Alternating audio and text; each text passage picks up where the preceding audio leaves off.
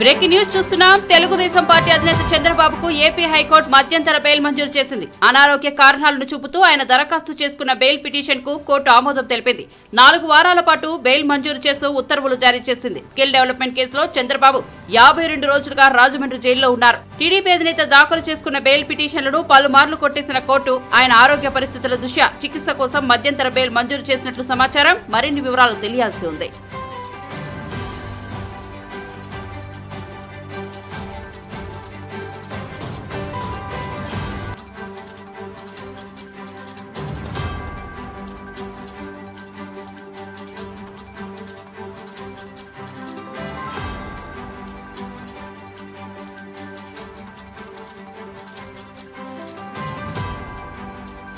Breaking news చూస్తున్నాం. Telugu Desam party అధినేత చంద్రబాబుకు ఏపీ హైకోర్టు మధ్యంతర బెయిల్ మంజూరు చేసింది. అనారోగ్య కారణాలను చూపుతూ ఆయన దరఖాస్తు చేసుకున్న బెయిల్ పిటిషన్కు కోర్టు ఆమోదం తెలిపింది.